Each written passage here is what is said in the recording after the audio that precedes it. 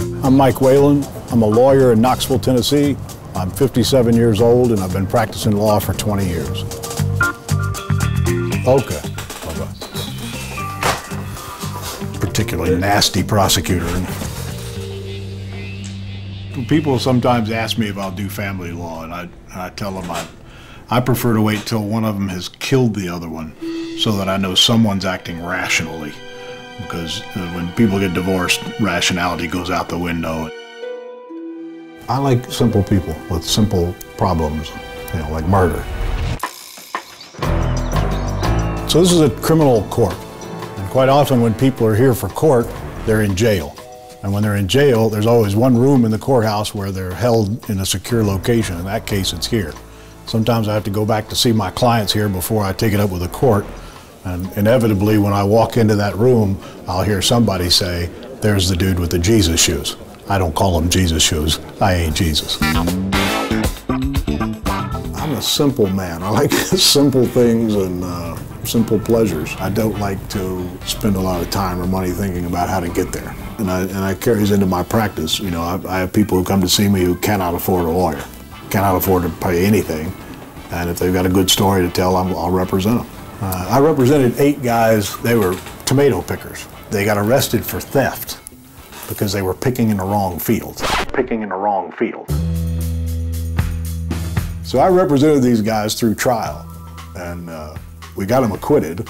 You know, the jury found them not guilty. I go out to the walk across to the, the, street to the jail with the clients and the families out there. And they said, you know, we really want to give you some money. I said, no, I said I was going to do it for free. You know, you, you don't owe me any money. We're, we're fine.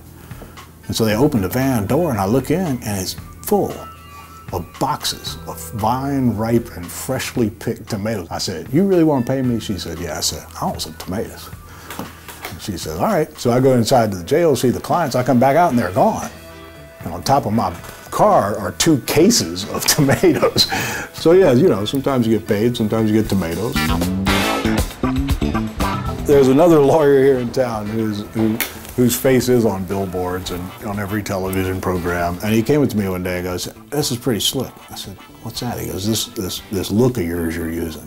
I said, what do you mean? He goes, you know, the sandals and the long hair. I said, yeah, I'm so slick. I was doing this 20 years before I decided to go to law school. I wore Birkenstocks from the very beginning. I, don't, I didn't own any other shoes. But I was getting ready to do my first federal trial.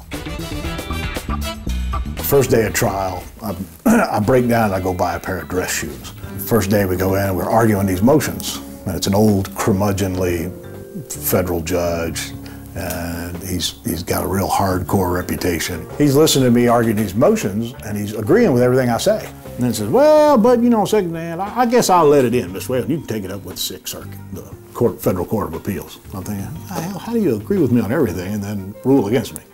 So that day at lunch, they break for lunch. I come back to the office. I take those dress shoes off and stuck them in the closet and put my Birkenstocks back on and wore them back for the rest of the trial and never wore those dress shoes again. I don't always control the situation, but I, I can certainly control whether I'm comfortable in the circumstances.